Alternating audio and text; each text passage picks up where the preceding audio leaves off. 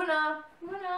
Suntem Cristina Și Dorina. de la Another Side of Me și am revenit cu un nou book haul sau ce cărți am mai citit în ultima vreme.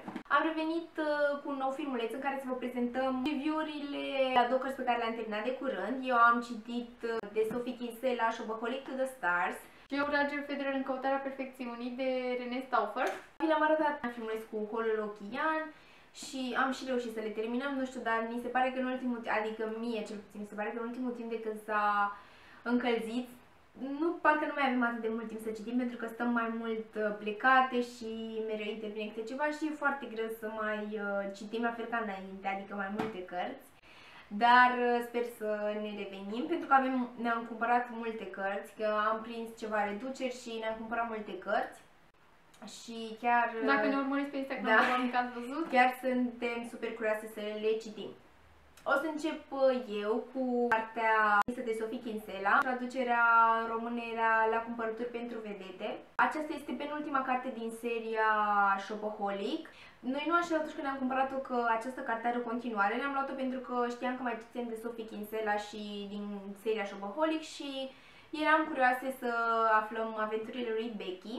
Și apoi când am terminat cartea am văzut că de fapt este și o continuare și trebuie să ne luăm și pe aceea pentru că suntem tare curioase ce o să se întâmple. Ca de obicei, cartea asta este super amuzantă. Cred că dacă aș ști măcar o parte din uh, seria Shopaholic, uh, sunteți de acord cu noi. Um, mai ales cele traduse în română au și unele expresii super amuzante. Cum folosim noi, uh, așa. Da, te punește râs instant uh, când citești uh, o traducere amuzantă. Și în engleză este haioasă, dar în română parcă are alt uh, farmec, nu știu. Traducerile sunt mai amuzante, cum am și zis. În această parte, Becky se mută la Hollywood împreună cu soțul ei, Luke, și cu fetița lor Mini. Ea încearcă să o înscrie la o școală și uh, acolo întâlnește pe o veche rivală de ei, să zic așa, Alice, și uh, o să aibă ceva peripeții. Ea vrea neapărat să ajungă la Hollywood ca și stilist al vedetelor și singura ei șansă este Sage Seymour, care lucrează cu soțul ei, Luke, și o să facă tot posibilul să o cunoască pe Sage, să se împrietenească cu ea ca să vrea să-i devină stilist și în felul ăsta să ajungă și la Hollywood. O să se și certe cu prietena ei cea mai bună, Suze, și o să fie ceva peripeții. Chiar, uh, iar la finalul cărții uh, tatăl ei dispare și ea pleacă împreună cu toți în căutarea lui, dar uh, este, cum v-am zis, amuzantă și cu siguranță o să uitați de tot când o să citiți cartea asta pentru că se citește foarte repede. În general, cărțile și le citiți foarte repede și majoritatea dintre ele sunt super amuzante. Dacă vreți să vă amuzați, vă recomandăm uh, Shopaholic to the Stars și, cum am și zis, uh, suntem super curioase să aflăm uh, continuarea. Și eu m-am apucat să citesc Shopaholic to the Stars, n-am terminat-o încă. Oricum, Sophie Kinsella e una dintre primele și mi se pare mie cele mai bune autoare de ciclic din câte există. Chiar are un stil super... uh, Amuzant și Da. te prinde, Mhm. te prinde instant. E super, Stilul ăsta, super. da. Dacă vreți să citiți cărți de genul ăsta, începeți cu Sophie Kinsella. Are multe, nu doar seria Shopaholic, are și alte cărți foarte interesante. Dacă știți, avem aici în spate mai multe cărți uh, și care au coperți colorate și drăguțe și arată tare bine. Da. Eu o să vă spun câteva cuvinte despre cartea uh, Roger Federer în căutarea perfecțiunii de René Stauffer.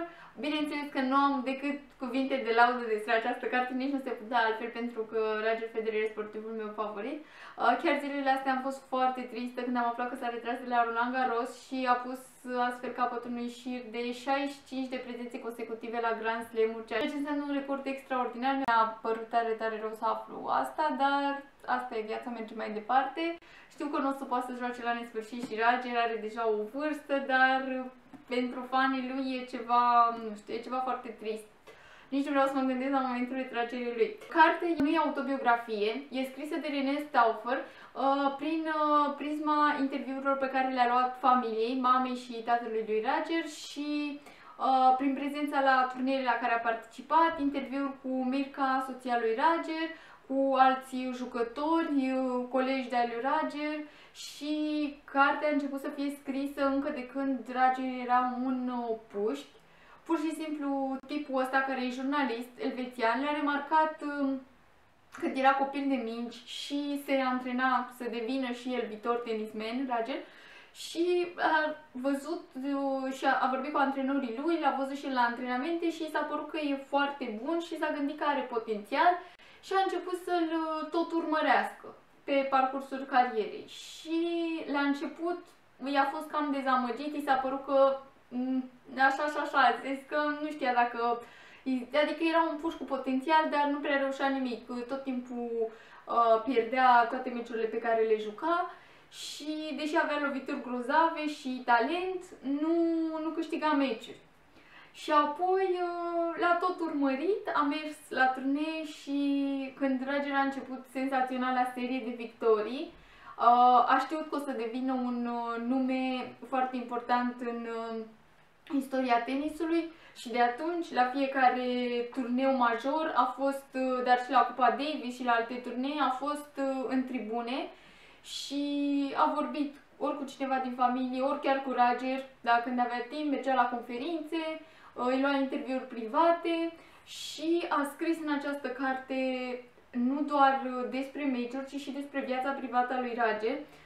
Deși știți că e foarte discret în această privință, nu pot să zic că am aflat foarte multe lucruri pe care nu știam pentru că sunt o fană răită, dar uh, am mai aflat câte ceva și mi-a făcut foarte mare plăcere să citesc cartea asta și mai ales îmi face plăcere să o am în bibliotecă și să o recitesc peste ani. E o carte pe care o puteți reciti, nu e doar o, o lectură de o singură dată. Ce nu știam, un lucru cu care începe cartea e povestea familiei Federer. Mi s-a părut foarte interesant să aflu mai multe despre familia lui. Și nici eu toate poveștile din copilăria lui Roger nu le știam. Dacă sunteți pasionați de sport și nu numai, vă recomand această carte. Veți găsi un model de ambiție, talent și foarte multă pasiune pus în lucrurile care îți plac și dorința și năzuința de a deveni aproape perfect în ceea ce faci. Mie mi-a plăcut foarte mult și mi se pare un model de, de urmat. Vă recomand cartea asta.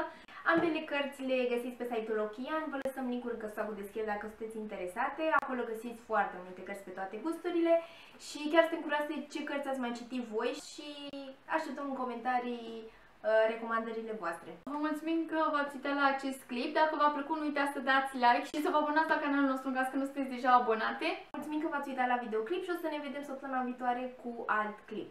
Pa!